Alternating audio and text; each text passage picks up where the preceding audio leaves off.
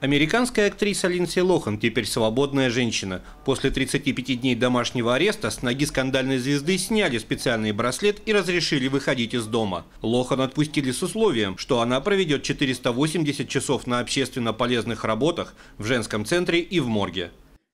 Представительницы певицы Леди Гага отрицают обвинения в афере с благотворительной акцией по продаже браслетов в помощь пострадавшим в Японии. Они заявили, что недавний иск, по которому Гага обвиняется в присвоении части вырученных от акции средств, не что иное, как бессовестный обман. Бывшая жена Чарли Шина снимет пенку с заработков актера. Суд обязал компанию Warner Bros. удерживать 55 тысяч долларов в месяц из всех гонораров Чарли на поддержку его детей. Деньги будут перечисляться его бывшей жене Брук Мюллер. Личные вещи Элизабет Тейлор продадут в ходе аукциона Кристис в Нью-Йорке с 3 по 16 декабря. Но сначала массивная коллекция драгоценностей ушедшей звезды посетит Москву, Лондон, Лос-Анджелес, Дубай, Женеву, Париж и Гонконг.